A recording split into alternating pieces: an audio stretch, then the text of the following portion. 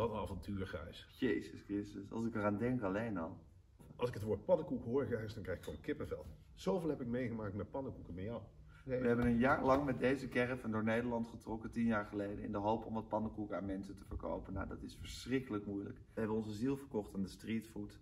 Het is een drama geworden. Tien jaar later gaan we met diezelfde caravan langs de theaters en het is een zegentocht. En nou heeft ons management heeft besloten om een aantal theaters bij te boeken. Horen is een stad, eh, veel meegemaakt. Gijs en ik hebben bij jullie ook een keertje pannenkoeken verkocht. Een leuke avond is dan eigenlijk gegarandeerd. Toch Marcel? Zeker weten, Gijs.